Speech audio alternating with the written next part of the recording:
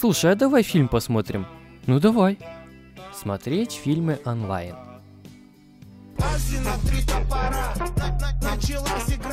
Блин, опять реклама. Она меня уже задолбала. Твои рекламы вот здесь у меня уже сидят, понимаешь? Реклама, блин.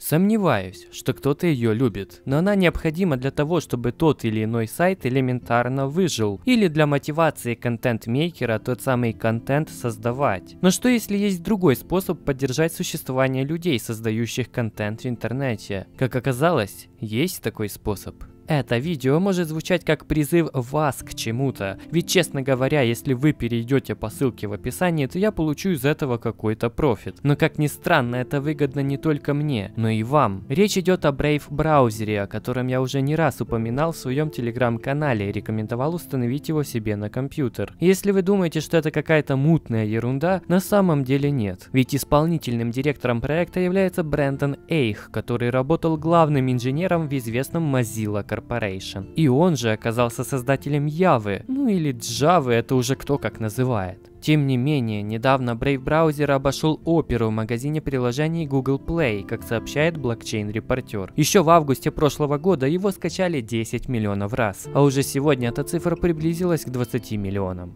Учитывая, что Brave построен на том же алгоритме, что и Google Chrome, большинство расширений для Chrome возможно установить и на Brave. Но основной вопрос остается, и он звучит так. Что же происходит с рекламой в этом браузере? Идея заключается в замене рекламы на совершенно другой способ монетизации монетизации. И это одна из главных фишек этого браузера. Он действительно блокирует всю эту надоедливую рекламу, все эти следящие за вами скрипты, трекинги, баннеры и прочее дерьмо. Что мне еще нравится, это поддержка HTTPS Everywhere. Это свободное расширение, разработанное совместно с проектом Tor и обеспечивающее защищенное соединение на сайтах, которые его поддерживают. Самое забавное, что все заблокированные рекламы, трекеры и активированные HTTPS ОБС отобразятся на главной странице. Также рядом вы увидите, сколько времени вы не потратили на просмотр рекламы. Зато использовали с пользой, потребляя материал, получая информацию, либо самостоятельно создавая контент. Вы даже можете наблюдать за этим процессом в режиме реального времени. Экономия всего 20 минут в день, вы освободите 10 часов в месяц от просмотра рекламы. Это понятно, но все-таки, как же монетизируется интернет, если рекламы больше нет? В роли заменителя выступает криптовалюта. В данном случае это Basic Attention Token. Между прочим, с февраля этого года она еще и выросла в два раза. В общем-то, в самом браузере эта криптовалюта может генерироваться пользователем. Вы можете вкладывать любое количество денег в месяц, будь это 1 доллар, 5 долларов и даже миллион долларов. Ну или не вкладывать ничего. Но что бы вы после этого не делали, это количество токенов будет распределяться между сайтами, которыми вы пользуетесь. Причем в пропорции пропорциональной зависимости от количества времени, проведенного вами на том или ином сайте. В этом есть какой-то смысл, согласитесь. Если вы проводите все время на конкретном сайте, наверное логично, что ваши пожертвования будут адресованы ему, а не кому-нибудь другому. И знаете, что еще круто? Brave позволяет индивидуальным ютуберам верифицировать свои каналы, как это сделал я. А значит вы, как зритель, можете быть уверены в том, что ваш донат направится именно ютуберу, а не сайту сайту youtube.com. Кстати, можно настроить и постоянное месячное пожертвование. Вы можете вполне законно подумать, я не хочу ничего платить прямо сейчас. Что это за чушь? Зачем я должен платить? Как я уже и говорил, это не обязательно. Если вы не хотите, вы можете и не донатить авторам. Возможно, по этой причине проект и проводит так званые раздачи токенов. К примеру, вы получаете 5 долларов в токенах BAT только за установку браузера, а также 5 долларов в токенах BAT за за каждую установку браузера по вашей ссылке. Для этого нужно просто верифицировать себя, следуя инструкциям на сайте, получить ссылку в своем кабинете и распространять ее. Кстати, моя ссылка находится в описании под видео. Я буду благодарен, если вы установите браузер именно с ее помощью. Очередная крутая фишка, которую вскоре запустят, это деньги за просмотр рекламы. Вы можете отключить блокировку рекламы, но взамен получать токены BAT за ее просмотр просмотр. Подробнее об этом я расскажу в конце видео.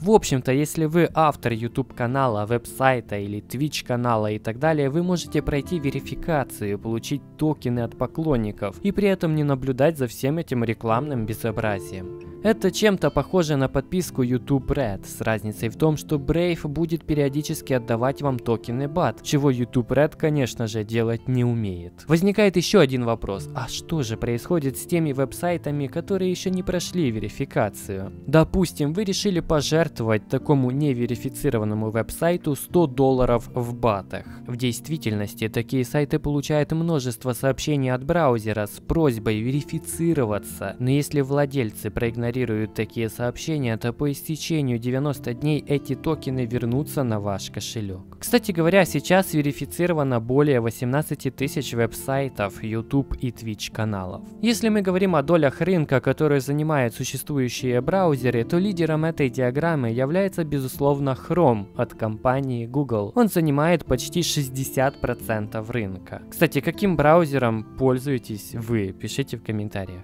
Но лидирует ли Chrome и по скорости работы? Судя по проведенным тестам, Brave браузер работает быстрее Chrome, даже если у Chrome не включены расширения. Тем не менее, справедливости ради, Brave работает и не настолько быстро, насколько было показано в тестах от самого проекта. Кстати говоря, этот тест ребята из Brave проводили, используя Android планшет. Почти 100 секунд загружался веб-сайт Time, 100 секунд, ребята, серьезно? Наверное, это худший планшет в истории человечества. Что касается платы за просмотр рекламы. Вы скажете, Ди, но ведь рекламы в браузере нет, о чем ты вообще говоришь? В будущем проект планирует представить так называемую опциональную рекламу, которая будет отображаться только если вы этого захотите. В настройках включаем показ рекламы и после этого за ее просмотр вы будете получать 70% рекламного бюджета. Остальные 30 будут распределяться между самим браузером и веб-сайтом соответственно соответственно. Я думаю, это очень круто, ребята. Реклама перестанет так сильно раздражать людей, если они будут знать, что за нее они получат денежку. Я даже не удивлюсь, если и другие браузеры представят что-то подобное, опираясь на опыт Brave.